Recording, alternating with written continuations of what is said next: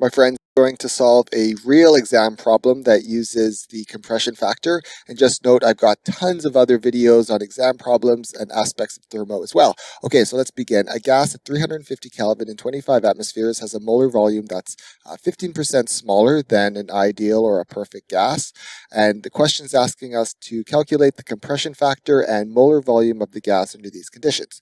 Okay, so before we begin, what's molar volume? Well, molar volume is the volume that the gas occupies per mole. And our main equation for the compression factor is Z, Z's our compression factor, equals the molar volume of the real gas divided by the molar volume of the gas if it acted ideally or perfectly. Now there's other equations for the compression factor using the virial equation, but this is kind of the main one to start with, with molar volumes. All right, well, if we plug things in, we have 0.85 times the perfect gas because it's 15% smaller.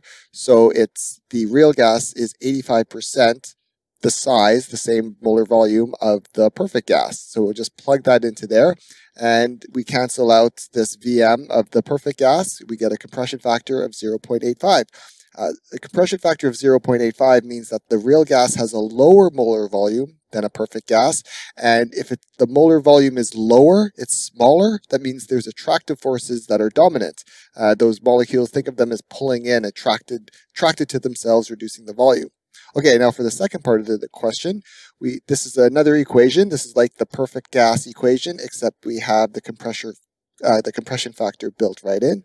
If we solve for the molar volume, that equals Z RT over P. Plugging in some numbers for the compression factor R, T, and P, making sure our units cancel out, we get a molar volume of 0.99 liters per mole. All right, y'all, hope you enjoyed it. Uh, good luck on your exams, midterms, quizzes, all that stuff. Uh, I'm here for you. I've got so many practice problems and concepts and things like that. I have a very comprehensive video on the compression factor and other aspects. Thanks again for watching. I'll see you in the next video. Cheers.